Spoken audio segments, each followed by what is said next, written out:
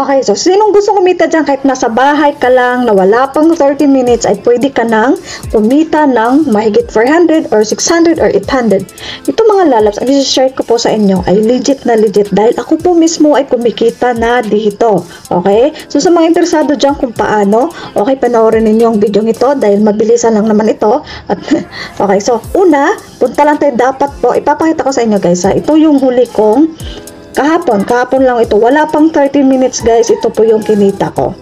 Okay, so ituturo ko sa inyo step by step kung paano. So panoorin ninyo at huwag kayong mag-skip. Kung gusto niyo kumita, kahit nasa bahay lang po kayo, no?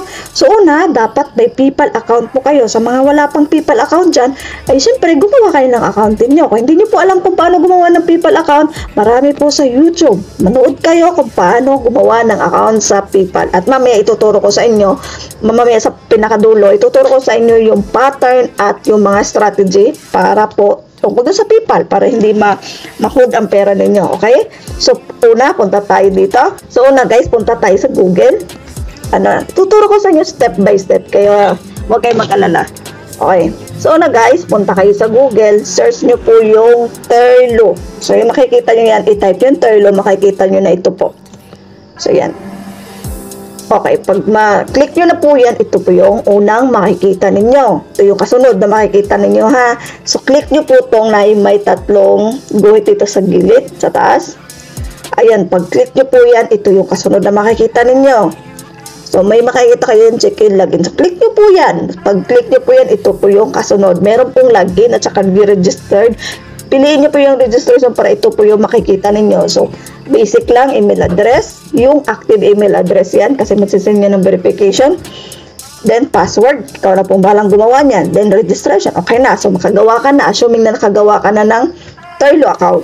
So, kasunod dyan, magla-login ka na. So, pag makapag-login ka na sa Turlo, guys, ito po yung pinaka-dashboard niya. Okay? So, ito yung pinaka-dashboard. By the way, guys, dapat meron ka pong GCash account. Ano? So, dapat may GCash account, may PayPal. Depende. Pwede kang PayMaya. Pwede PayMaya, pwede GCash, ganon. At may Binance dapat. Mamaya, ituturo ko din sa inyo. Ito na po yung Turlo. Ito yung pinaka-dashboard ng Turlo. So, ipapakita ko lang sa inyo. Ayan po. Kung i-click nyo po yun dito, ito po, makikita nyo, i-click nyo itong may, may tatlong guhit na naman sa gilid. Ito po yung makikita nyo, dashboard, make a trades. Okay? So, ayan, nakagawa na kayo, ano, nakagawa. By the way, guys, ipapakita ko muna sa inyo, ha. Ito po yung sa PayPal na transaction. Ayan, una po ako nag, nag ano, April 6 po. So, wala pang 30 minutes, guys. Nagpasok ako ng pera. Siguro mga isang libo, 1,000 yata yun. Kumita ako ng mga 200 mahigit yata yun o 300. Ah, di ba? Well, maingay. Pasensya na po kayo. Then yung kasunod po guys na nag-trade ako, ito, April 28. Ayan. So mamaya ipap, isasabi, ipapaliwanag ko sa inyo kung bakit malayo yung agwat. Mala, malayo ng agwat. Ipapaano ko sa inyo mamaya. Then, ito din, ka, April 13, nag-trade ulit ako. Ayan. So kahapon, may trade ako kahapon. Nasa na ba trade ko? So, okay na yan. So, ulit, meron na, nakagawa ka na ng Turlo. Ang kasunod po, pupunta po kayo sa Binance.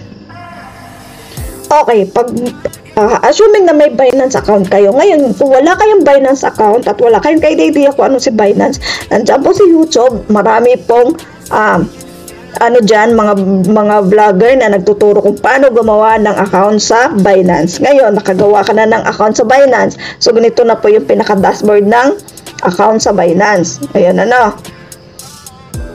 Dito, hanapin nyo lang po yung P2P. Kasi bibili tayo ng USDT. Okay? Bibili tayo ng USDT. So, halimbawa, mag-uumpisa tayo sa $20. Ganon. Kano ba yung $20? Pag-plate 1,000. Ganon. 1 to, 1,000, nag, nag-start ako 1,150. So, punta ka dito sa P2P. Then, pupunta mo sa P2P. Ito, step by step to guys ha. Wala tong, ano, yung laktaw. Alam mo yung laktaw, yung parang nakakaligtaan. Ito po yung sunod-sunod. Okay? So, method, uh, payment method. So, pipili ka dito. Click mo yan. So, make sure naka-USDT siya. Ayan, payment method. Click mo yan. Ito guys, crypto to ha. So, kung mga mahilig dyan mag-crypto, alam nyo na to kung paano bumili ng USDT, okay? So, payment method, yung mga baguhan lang, kaya tinuturo ko rin to. Malay mo ba ka may mga naligaw dyan ng mga baguhan sa crypto, eh, di ba? Malaking tulong to kasi legit na legit guys. So, to, kikita ka talaga dito. Then, click mo tong Gcash kung may Gcash account ka. Di ba? May Paymaya, depende po sa inyo yung payment method niyo. Then, confirm nyo lang. Yan, namamauso naman boses ko. Ba't ganun? Okay, so type nyo lang.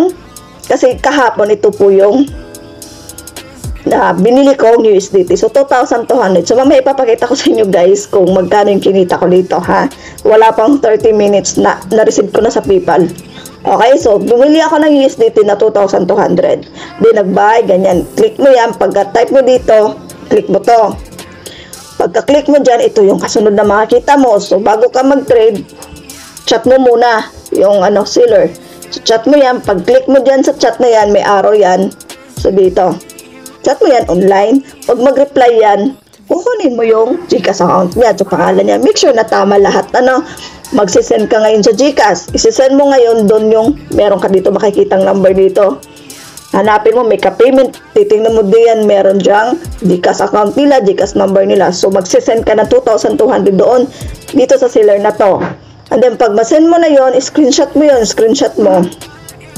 Ito, screenshot mo to. Tapos, pag ma-screenshot mo, pag ma-screenshot mo to guys, i-click mo tong plus sign para masend mo yung resibo. Okay? Then, pag masend mo na yung resibo, ito na yung kasunod, no? Ito na yung kasunod, ipapasa na ni seller sa'yo yung USDT na nabili mo. So, ganito na yung proseso, no? Ayan, na-receive mo na yung USDT. So, meron ka ng USDT. So, balik ka sa pinaka-homepage ng Binance. Okay, sana nasundan niyo po guys, ano? At kung mga baguhan pa lang dyan, sana baka naman, baka pwede mag-subscribe kayo dyan. Okay? Bahala kayo kung mag-subscribe kayo hindi.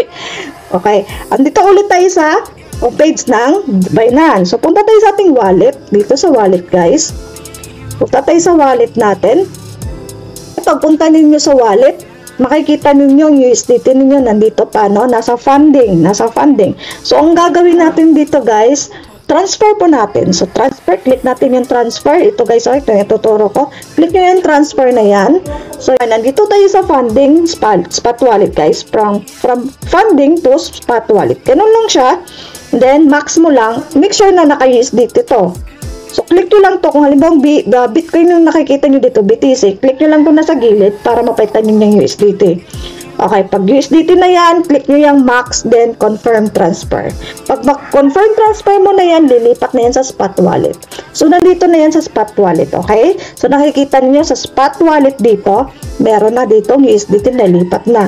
So, ang gagawin natin dito, guys, anong gagawin natin? Balik tayo sa pinaka-home. Pinaka-home, balik tayo ha. Andito, nandito na tayo sa pinaka-dashboard ng pinaka-home page ng, ng Binance. Hanapin po natin yung more. Ito guys, so more. So, click natin yung more. Sana masundan nyo po dyan. Okay, so, click yung more. Pagka-click yung na more, hanapin nyo po yung convert. Ayan, convert. Ayan. Pag hindi nyo masundan guys, ulit-ulitin nyo lang panoorin. okay, convert. Then, pag convert ninyo, ito convert. Ayan, oh. Pag convert ninyo, ayan. So, ito USDT. So, max nyo lang. Max nyo to. Click nyo itong max. And then, click nyo itong may arrow. Yan. Click nyo yan. Pag click nyo yan, ito yung, ito yung kasunod. Oh. Pag click nyo yung, pag click nito sa arrow, ito yung kasunod na makikita nyo. So, type nyo lang po yung LTC. So, yan o. Oh, type LTC, then hit convert. Pag type nyo sa LTC, lalabas agad to kasi. Ayan, pag type nyo sa LTC, lalabas ito. So, ito yung i-click nyo, then hit nyo ang convert sa baba. Pag hit niyo sa convert, ito po yun, oh. Ayan. So, click niyo yan, kasi merong seconds lang yan, eh. Ayan. Huwag niyo hintayin mag, mag, ano to, may seconds lang to bago niyo ma-convert. Convert niyo agad yan. Tapos, okay na, na-convert niyo na. Then, back to home ulit kayo. Pag back niyo sa home, so, ayan, click niyo yung wallet ulit, no? Click niyo sa wallet. So, dito na. So, makikita niyo guys, nalipat na sa Litecoin. Okay, LTC. Nandito na yan, oh. Kita nyo? Kita nyo yan? And then, pag i-click nyo to, i-click natin to, so kailangan natin i-click to siya. Pag click natin yan, dito yan mapupunta. Okay, so dito yan. Pag-click mo niyan, click mo dito, click mo yung withdraw. Click mo tong withdraw guys. Ayan, tandaan nyo ha, click yung withdraw para mapunta kayo dito. Okay, so piliin natin to. Pagpunta sa click, withdraw, ito yung makikita ninyo. So, ito yung click ninyo. Pag click nyo dito, ito yung kasunod. Ito yung kasunod. Yan, sunod-sunod yan guys. Then, click nyo tong send via crypto network. So, okay, pag clickan, ito po yung kasunod. So, dito, pag click nyo dito, ang i-click nyo lang yung max para lalabas yung yung mismong um, number, yung binili yung Litecoin. So, i-click nyo itong max. Click nyo yung max na yan. So, ito yung lalabas. Okay? Ito yung, ito yung binili ninyo. Ito yung kinonvert niyo from USDT to Litecoin. So, pag-click sa max, ito yung lalabas. Ito yung gagawin natin, guys. Copy natin yan. Okay? I, pag copy paste niyo dyan, copy nyo muna to, tapos babalik kayo sa Terlo, 'di ba? Kanina nag-ano tayo, nag-sign up tayo, kumuha tayo ng account sa Terlo. Ang gawin niyo lang, guys, kung may makikita po kayo dito, ayan. Eh, ibabak niyo lang ganyan oh, ganyan oh. Tapos mamaya babalik-balik na lang ulit kayo, 'di ba? Ganun lang style niyo ganyan lang oh. Tapos halimbawa Terlo to, halimbawa ito Terlo. Click niyo lang 'yan. Tapos ayan. So dito kagaya nito, kasi yan yung ginagawa ko eh. Ayan, nandito, bumalik kayo sa Terlo, ano, nakopy mo na to. Assuming na nakopy mo na to, ha. Then, balik ka sa Terlo, di ba, may pinakita ko sa dito para makapunta kayo dito. I-click nyo tong may tatlong guhit ito kanina. Tapos makapunta kayo dito, click mo po yung make a trade. So, click a trade. So, dito, pagka click mo sa make a trade, ito po yung kasunod na makikita ninyo. Medyo mabahabalan talaga to guys. Pero mabilisan lang pera dito. Mabilis ka lang kumita talaga dito, promise. Ayan, so pagka, ito po yung una nyo makikita. So, click nyo lang yung X. Kasi naka-default kasi to eh. Click nyo yung X, aalis na to. Pagka-click mo sa X na yan, ayan, ito yung makikita mo. So, yung kinopya nyo po, ito po, yung kinopya nyo po mula sa Binance, ayan, di ba 931 yung dulo. Ayan. So, ito, kita nyo guys, oh, 931, kinop i-copy paste lang, na, paste lang natin dito. Okay? Sa pag-paste natin dyan, lalabas na agad to. Automatic lalabas na agad to. Then, dito. So, ayan, makikita nyo yung profit na yan, 5.95, agad-agad yan. Pero sa akin, bakit 400 yung natanggap ko? Kasi minsan, sobra yung pinapadala ni binabay ni Terlo sa PayPal. Okay. Ito, nakopy mo na. Sa coupon, sa po naman guys, Terlo Love 100. Ang ita-type mo dyan para meron kang dagdag pala may dagdag ka pala na 1 LTC ata. Basta ganun. May, kaya pala yung sobra yung pinapadala sa akin. Hindi lang 5.95. Ilalagay mo dito. Okay guys, pag nailagay nyo na po yung coupon na Love Turl 100, tapos lagay nyo po yung PayPal account nyo dito, then click nyo po yung may X dito. Kaya click nyo, i-check nyo po yung I agree, then sell LTC. Pag click nyo po sa sell LTC na yan, so ito po yung kasunod. So, ito yung makikita ninyong kasunod. So, click nyo yung may arrow diyan. Click nyo yung may arrow, tapos para makopy to ang address. Pag makopy nyo yan, balik kayo sa Binance. So, ano nga yung gagawin natin? Balik tayo sa Binance. Okay. Punta tayo sa Binance ulit at i-copy natin dito. I-long press lang para ma-paste dito. Okay? So, pag na-paste na yun, kita nyo guys, so BJ, so tatandaan ninyo yung pinakadulo para sigurado kayong tama nga yung nakopya ninyo. Okay? Then, pagka-copy ninyo, automatic yan lalabas na agad to kasunod Litecoin, ganyan. So, okay, nakopy nyo na.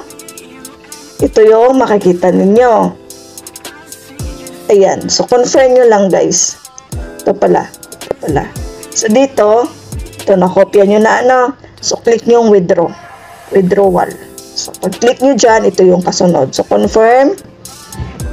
Pag-confirm ninyo, so, basic lang, get code lang yan siya. Punta lang kayo sa Gmail account niyo kasi magsisend ng verification si Binance sa inyo. Then, kukunin nyo lang yung verification code para ilagay dito. Ayan, oh. So, pag makapin nyo to, balik kayo dito, then submit. Ayan, kopyahin nyo lang. Sundan nyo lang guys, ano? Sana masundan ninyo. Okay. Ayan. Withdraw na siya. Processing pa, pero madali lang yan. Okay. So, okay na sa Binance. Balik ulit kayo sa Terlo. Pagkabalik nyo ulit sa Terlo, okay yan. Kopyahin nyo lang to. Itong payment ID. So, long press lang ulit. Pag long press, copy, then X. Click nyo yung X. Pag click nyo sa X na yan, ito yung makikita nyo na. So, dito, i-copy nyo yung tinopya nyo dito. No? So, payment ID. So, copy nyo yan. Ilagay nyo dito. Teka. Lagay nyo dito. Then, check. Click ang check para mabigay. Okay, ano? Yan, o. Click nyo ang check. Ito na yung parang pinaka-resibo. Ayan. So, check nyo yan. Ito yung pinaka, pinaka-resibo niya. So, pwede nyo na i-close. So, okay na siya. Ito na. May makikita ka dyan sa pinaka-dashboard ni Terlo na yung pending na yung transaction mo. So, kung pa mapapansin nyo guys, tapos na, tapos na okay na. So, to, uh, titingnan ito sa taas ang oras ng cellphone ko. Uh, 2.09 ng hapon. So, ipapakita ko sa inyo guys. So, ayan o. Oh, ayan o. Oh. Yan, 209 ha. So, check natin. Ayan, ito kuntada ko to.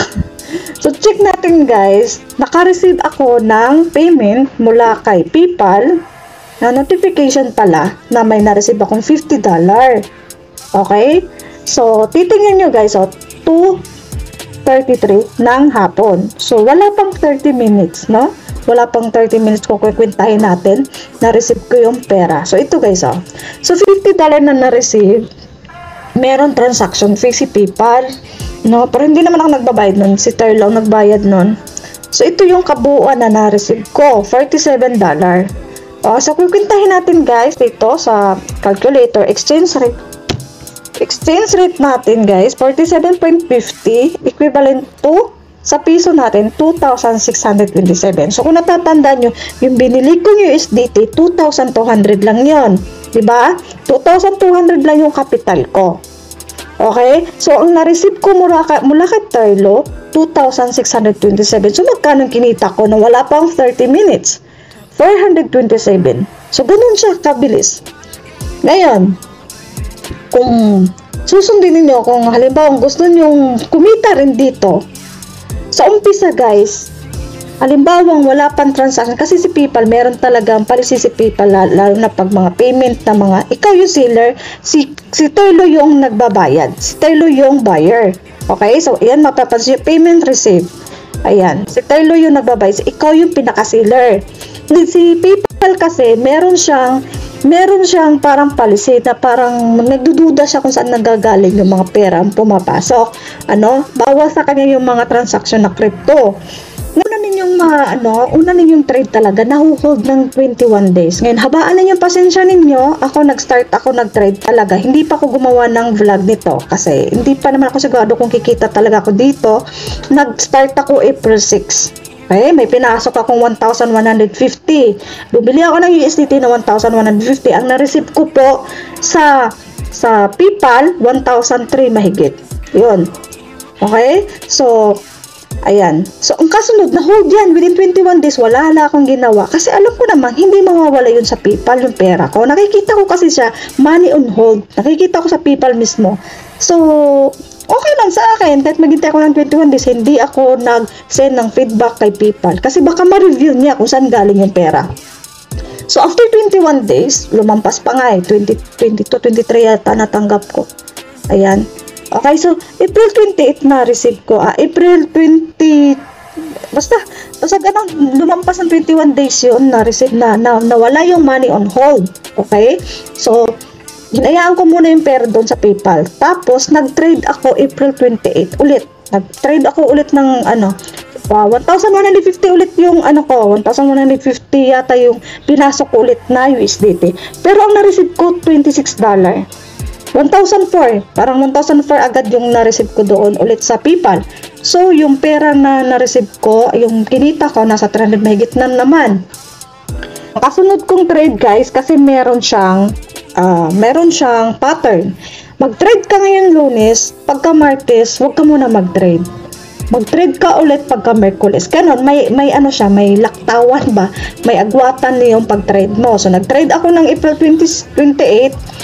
Ayan, hindi na siya na-hold ha. Hindi na siya na-hold. Nung unang trade mo lang ma-hold.